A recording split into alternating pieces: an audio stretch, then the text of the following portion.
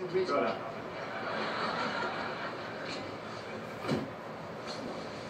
Did he say some Broadway, please? I'm sorry, lady. It's a cab shortage. The transit police are making everyone shit. No. Hello. Oh no. I'm sorry.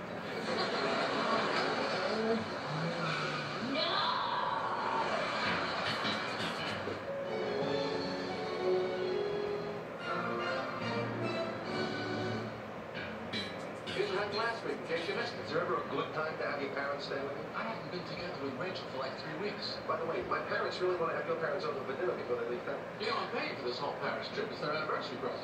What are you doing, Elaine? She wants to say hi. She's with her new boyfriend. What's he like? Bit of a close talker. Hello, Harry. Hello, Harry. So how long are you folks in town? Wouldn't you like to be a big brother to someone like me? What am I supposed to do with all this paella? We said tomorrow. Maybe. Maybe. Maybe they don't like us. We don't care much for the Costanzas.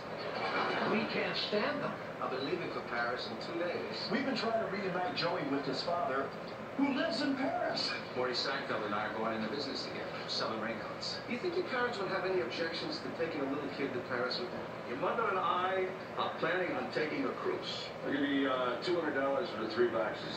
Where the hell are my